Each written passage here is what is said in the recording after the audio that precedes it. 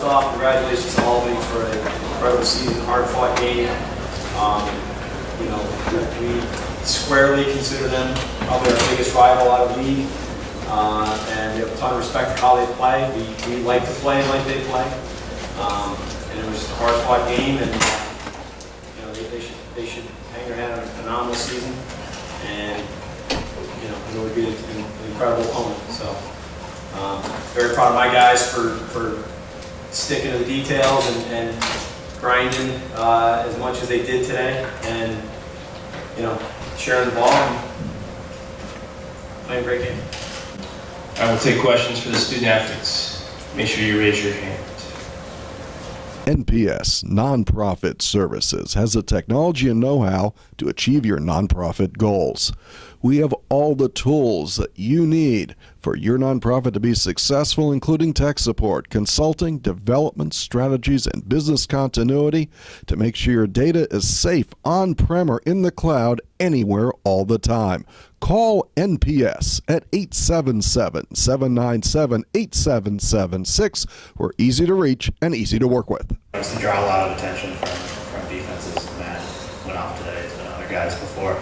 Uh, this game was sort of illustrated with the fact that you guys are a one-man show.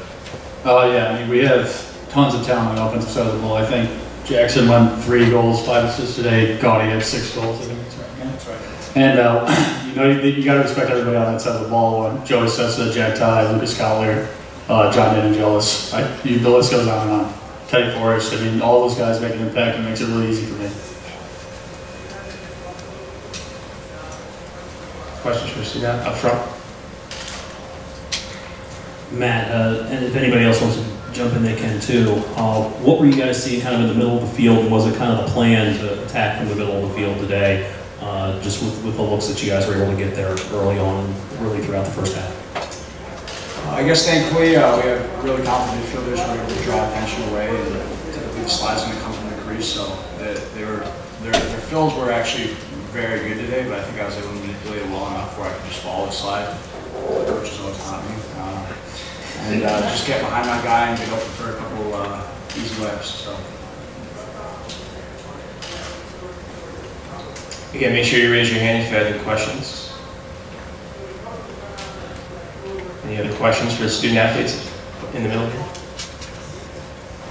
Matt, this is um, a question for you about Ben. You know, Ben's kind of been known to, you know, be very good about passing his knowledge on and, and kind of bringing up some of the younger guys. How, how has he done that with you? Um, I think from uh, from day one when I got to school, Ben was really uh, he kind of very welcoming, and I think he saw a, a little bit of a future in me, so he, he trusted me a lot along with uh, along with Jackson, and uh, I think uh, from day one we've just really kind of built this chemistry where it's like you know I'm, I'm going to trust you to do your thing, whereas they draw a lot of attention, and my, my goal is to be a finisher, so I think, I think it works out pretty well together. Down in front here. Matt, there was a moment at the end of the game that where you kind of crashed over and, and I don't know, soaking it in, or what, what was going, kind of going through your head there right when you came off the field and you were back kind of in a race? Uh, well, I mean, I was really dehydrated. I think I was, I was the main key. I kind of tipped over and Ben saw me and he just picked me up and uh, I guess I got to drink more for next game. In the middle right here. For all players, just um, how did the coaching staff prepare you guys to, to not let the moment get to you? You know, the biggest stage you guys have been on. Um, you know, how do you not let that affect you? Jackson, you want to take that first? Um, I I think our coaching staff is uh, incredible with that specifically. The main key is like we make practice so hard that uh, a game like this can't ever get too big. Um, the, the pressure we get, especially to guys from our defensemen in practice, is incredible. So uh, you're always going to be prepared for a big game like this. Um, I think, I just want to tack on that, I mean, we have the best coaching staff in the country, uh, and it's not even close. And uh, the things they do for us, I've told them multiple times, I don't even understand it. When they make a game plan, I'll be in the office, listen to them talk, I have no idea what's going on, but it's absolutely incredible, and every guy in this team could be more grateful for what they do for us. Anything from Matt? I, th- I think the key was uh, our coaches obviously put us in much tougher situations in practice, and I think uh, it's just about not letting, I guess, the, the thrill of it all get to you. Obviously, Gillette Stadium is an incredible facility, and it's just about, you know, using your reset, which is one thing our coaches really taught us, no matter how bad or how good the play was, it's just starting from square one and starting from scratch. Any other questions for the student athletes? All right, thank you guys. Up front? Andy, how did you kind of see the, the keys to those first 10, 12 minutes or so as you guys jumped out, get the first seven goals, really at both ends of the field, because it, 'cause it seemed like both things were working really well? Yeah, I mean, I thought we had the ball, which is part of it, you know, and I think that that's, that's a big part of this game specifically, uh, when we play those guys. Um, You know, their goal, we we have a ton of respect for. Uh, We decided that we needed to shoot as efficiently uh, and as intelligently as possible. And it ended up being a, a a rough day for him, unfortunately. He's a first-team All-American, and he's a great player and a great kid, I'm sure. Um, You know, but I think that we were able to can our shots, and we were extremely efficient as a result, so. um, You know, in the first game, he had 19 saves, so we felt like we had the ball, we got volume, and uh, we couldn't kind of solve him. We worked hard this week uh, on solving him. You do that, you look at, you look at tape, and you, you you wonder if you tell your guys where to shoot, or, or or whatever, so, um, we, we did give him some hints of what we thought we could do, uh, but um, ultimately, they, they made plays, and they, they were consistent and diligent and um, disciplined all day, so that's really what gave them opportunity. Ben Miller here.